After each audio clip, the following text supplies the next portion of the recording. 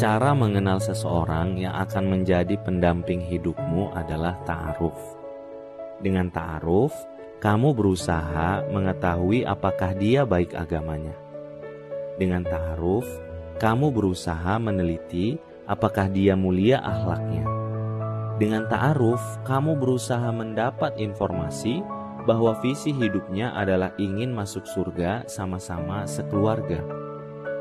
Ta'aruf, kamu bertukar data, kamu bertanya, kamu bertemu dengan didampingi perantara. Bahkan, kamu juga mencari informasi dari orang-orang terdekatnya.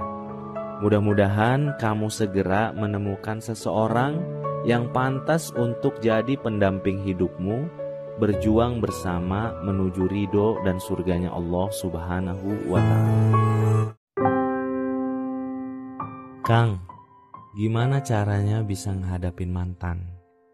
Dia itu pernah ngecewain saya banget. Dia itu dulu ninggalin saya pas saya lagi sayang-sayangnya.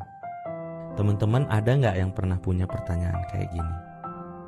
Teman-teman, mantanmu itu adalah pelajaran hadapi ia dengan jadi orang yang jauh lebih baik.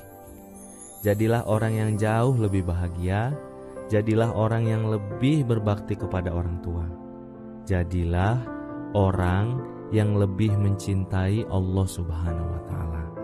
Teman-teman, bisa jadi jodoh terbaik baru bisa ditemukan setelah kamu melalui pelajaran ini.